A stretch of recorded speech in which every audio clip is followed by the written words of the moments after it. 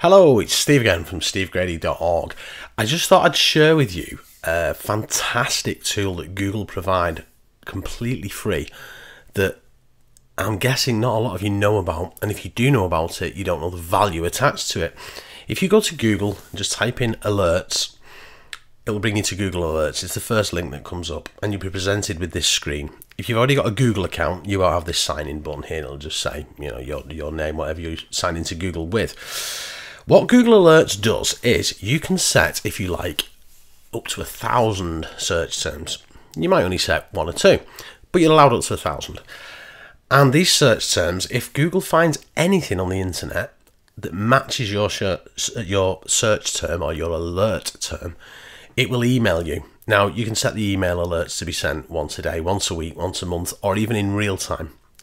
So, the beauty of this system is that you can use it for so many different things. So, first of all, you might want to know who's linking to your website or blog, um, or even who's mentioning your website or blog. The good thing about this is people may be sharing your content, you don't even know about it. If you get an alert obviously that someone shared your content, you can pop along, jump into the comment section, thank them, interact with their users, their readers, and so on. So to give you an example, um, I mean, obviously, as I'm making this video, obviously by the time you're watching it, I probably will be live, but as I'm making this video, uh, the blog that I'm making this for is stevegrady.org and it isn't yet live, so we won't have a great deal of alerts that come up. If I type in stevegrady.org, if your website is www, by the way, don't put the www in, just cut that off, okay? So you can see here, obviously, choosing a domain name. Um, here we go, looking for a refreshing approach to business tips and advice. That's my holding page at the minute because the website's not live, okay? But already you can see there's a website here called uh, IM Beginners. I think it's Internet Marketing Beginners. Steve from stevegrady.org explains in this short tutorial how to install WordPress. This is one in a series of WordPress tutorials for beginners. So that's someone, if we click that, that's someone that's already linked to a video that I put out. Yeah, see, somewhere on there will be my video. Um, this one's interesting. Uh, finding the best hair extensions. Now, okay, you know, I'm not in the business of hair extensions or beauty, but one of my clients, Natasha Lee, who's a beauty blogger from the UK, she is. Now, I know that this post here went live maybe 12 hours ago. Now, already, you've got to remember as well, there's no link to me in this, but there is a mention, okay? She hasn't actually put a link in the blog, but there's a photograph of her she was illustrating the difference between her, her without her extensions and her with, I think. Um, and in one of the photographs was me, so she'd actually put a credit of Steve Grady of stevegrady.org. Now, it isn't a link, but it is a citation, and Google's picked up on that. So straight away, I could pop along there to the comments and say something, Hi Natasha, da da da da da. You, you know, just interact basically with her audience, and this is the beauty of, of Google Alerts. Okay. Another use for it is obviously you could put a competitor's website address in there. And you could see who's linking to your competitor and obviously pop along and, and so on and so forth, see what's going on.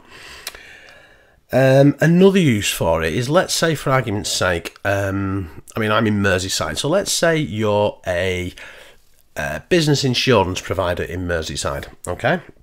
You could enter a search called New Business Merseyside and it would email you every day or every week on anything to do with New Business Merseyside. So, for instance, we could look through and think, yeah, that's no good, that's no good, that's no good. Um, but hang on, this one's interesting. Merseyside company to double annual turnover after appearing on BBC shows. Mm, so they make hand- handcrafted arrows. So, you know, are you a web designer? They may need a new website. Are you a graphic designer? They may want to build their brand. Do you provide uh, are you have you got uh, commercial premises that you rent out in in um, Merseyside? Chances are they may, may need bigger premises. So obviously you, you you would load this up, get in touch with them, follow them on Facebook, connect with them on LinkedIn, congratulate them on being on TV, explain to them that you're in Merseyside too. This is what you do. If you can be of any assistance in the future, don't hesitate to get in touch. So you can see that in front of you here is a free tool that for building your business, regardless of what you do, whether you're a gardener in Scotland, whether you're you want a beauty salon in Hampshire, it doesn't matter. This tool, when you sit and think, what would I want to be alerted about, then this tool is invaluable, seriously. So sign into Google Alerts, have a little play around with it, tweak it a little bit. If you look on my blog post that accompanies this video on stevegrady.org, you'll find some useful modifiers so you can exclude certain keywords or you can uh, add certain conditions to the alert. So I've I hope you found this useful. Um, please let me know how you get on, or let me know, let us all know if you find any interesting uh, tips. Speak to you soon over at stevegrady.org.